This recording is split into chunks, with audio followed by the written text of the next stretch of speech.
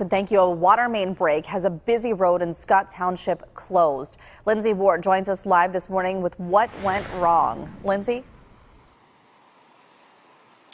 Heather, good morning. Washington Pike is a very busy road. We've seen a lot of drivers this morning traveling through here, and I bet this road being closed behind me is a little bit of a headache for them. A lot of them who would typically drive through are being forced to turn into the Scott Township Plaza. Now, this part of the road you see is closed and won't reopen until about 6 tonight, and that's because a major water main break happened here just last evening. Scott Township Police say that break happened right in front of the Walmart.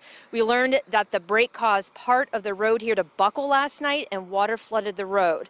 Again, this part of the road that you see here that is closed yeah, it won't be reopening till 6, but we will be speaking to uh, some crews here and hopefully finding out if the road will open maybe even earlier or even later. Just keep it out here on KDKA and we'll tell you the very latest. Reporting live in Scott Township, Lindsay Ward, KDKA News.